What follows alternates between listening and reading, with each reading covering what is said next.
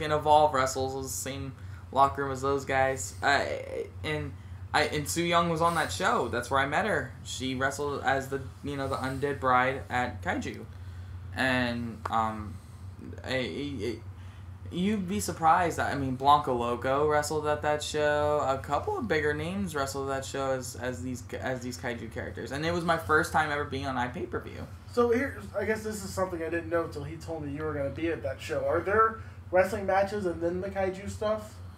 It's just all kaiju stuff. And that crowd was one of the hottest crowds I've ever wrestled in.